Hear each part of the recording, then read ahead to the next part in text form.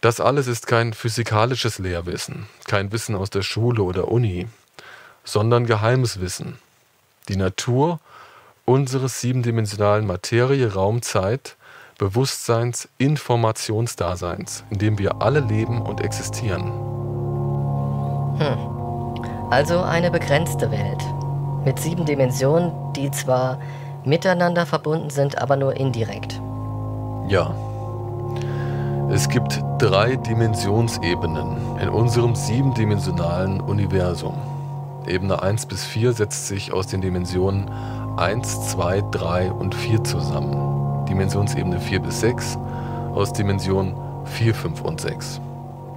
Und die letzte Dimensionsebene hat nur eine einzige Dimension, die siebte Dimension, die zugleich eine volle und eigenständige Dimensionsebene ist, die höchste innerhalb der siebendimensionalen Welt.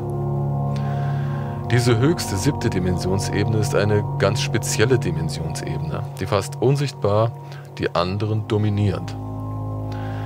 Dann gibt es noch passiv geschaltete Verwebungs- oder Verbindungsstufen der Dimensionsebenen. Dimensionsebene 1 bis 4, also unsere eigene, teilt sich zum Beispiel mit Dimensionsebene 4 bis 6 eine Dimension, die vierte.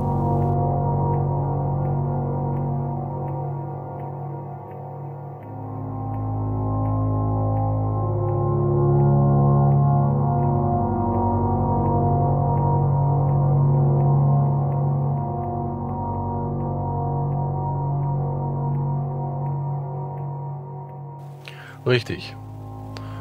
Dimension 7 ist deshalb so dominant und alles beherrschend, weil die Geometrie unserer siebendimensionalen Existenz von ihrer Mechanik und daraus geometrisch funktionierenden Wirkweise her die Eigenschaften der höchsten, undurchdringlichsten Primzahl in diesem Konstrukt besitzt.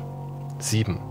Nur durch sich und eins teilbar, also nur beschränkt zugänglich und deshalb vor anderen Einflüssen geschützt.